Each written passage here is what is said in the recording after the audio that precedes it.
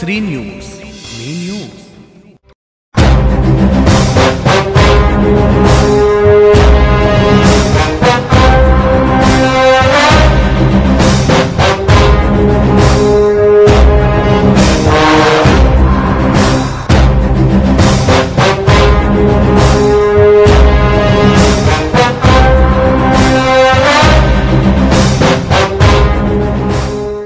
మహబూబాబాద్ జిల్లా గూడూరు మండలంలో మూడో విడత పరిషత్ ఎన్నికల ప్రచారం ముమ్మూరంగా కొనసాగుతుంది. ప్రచార గడువు దగ్గర పడుతుండటంతో ఓటర్లను ఆకర్షించడం కోసం జడ్పీటీసీ అభ్యర్థిని బుక్యా సుచిత్ర బాలునాయక్ తన ప్రచారాన్ని స్పీడ్ పెంచారు. రెండు వేల పద్నాలుగులో బొద్దుగొండ గ్రామ సర్పంచ్గా కాంగ్రెస్ పార్టీ నుంచి పోటీ చేసి గెలుపొందారు. తను స్వతహాగా విద్యావంతురాలు కావడంతో అభివృద్ధికి నోచుకొని బొద్దుగొండ గ్రామాన్ని అభివృద్ధిలో ముందుకు తీసుకువెళ్ళి అందరి మన్ననలను అందుకుంది.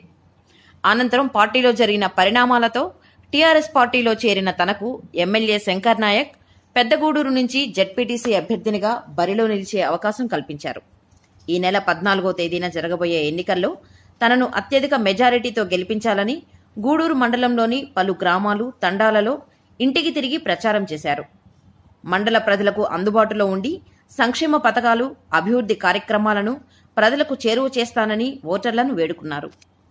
గూడూరు మండల్ టీఆర్ఎస్ పార్టీ నుంచి జెడ్పీటీసీగా పోటీ చేస్తున్న నేను ప్రచారం భాగంగా రావడం జరిగింది. మరి పొద్దున్న నుంచి కూడా మేము చాలా విలేజెస్ తిరగడం జరిగింది చాలా గ్రామ పంచాయతీలు తిరగడం జరిగింది.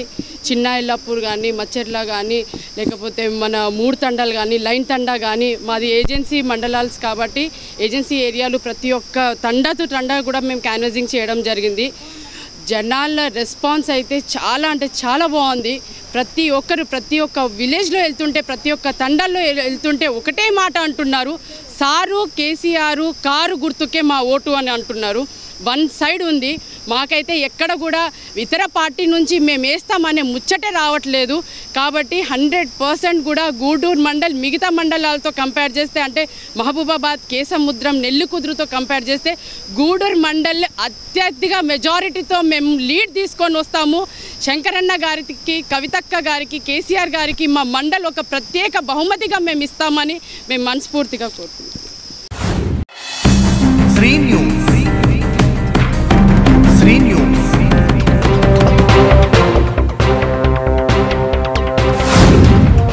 3 News.